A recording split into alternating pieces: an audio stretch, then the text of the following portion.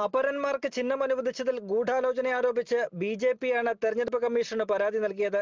പല വാർഡുകളിലും തങ്ങളുടെ അപരന്മാരായ സ്ഥാനാർത്ഥികൾക്ക് റോസാപ്പൂ ചിഹ്നമായി അനുവദിച്ചതാണ് ബി ജെ പിയെ ചൊടിപ്പിച്ചത്.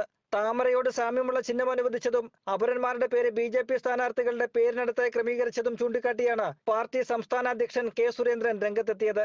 ബി ജെ പിയെ തോൽപ്പിക്കാൻ സി പി ഐ എമ്മും തെരഞ്ഞെടുപ്പ് കമ്മീഷനും നടത്തുന്ന ഗൂഢാലോചനയെന്നാണ് ആരോപണം. അതേസമയം വരണാധികാരിയാണ് വ്യവസ്ഥകൾ പാലിച്ച് സ്ഥാനാർത്ഥികൾക്ക് ചിഹ്നം അനുവദിക്കുന്നതെന്ന് തെരഞ്ഞെടുപ്പ് കമ്മീഷൻ ചൂണ്ടിക്കാട്ടി. ഇത് പിൻവലിക്കാനോ മാറ്റാനോ സാധ്യമല്ല. പഞ്ചായത്തി രാജ് മുനിസിപ്പാലിറ്റി ആക്ട് പ്രകാരം സ്ഥാനാർത്ഥികളുടെ പട്ടിക തയ്യാറാക്കുമ്പോൾ പേരുകൾ ക്രമീകരിക്കേണ്ടത് മലയാളം അക്ഷരമാല ക്രമത്തിലാണ്. ലോക്സഭാ നിയമസഭാ തെരഞ്ഞെടുപ്പുകളിൽ രാഷ്ട്രീയ പാർട്ടി സ്ഥാനാർത്ഥികളുടെ പേര് ആദ്യം കൊടുക്കുന്ന ജനപ്രാതിനിധ്യ നിയമത്തിലെ വ്യവസ്ഥ ഇവിടെ ബാധകമല്ല. അതിനാൽ ഈ ആവശ്യങ്ങൾ അംഗീകരിക്കാനാകില്ലെന്നും കമ്മീഷണർ വി ഭാസ്കരൻ വ്യക്തമാക്കി.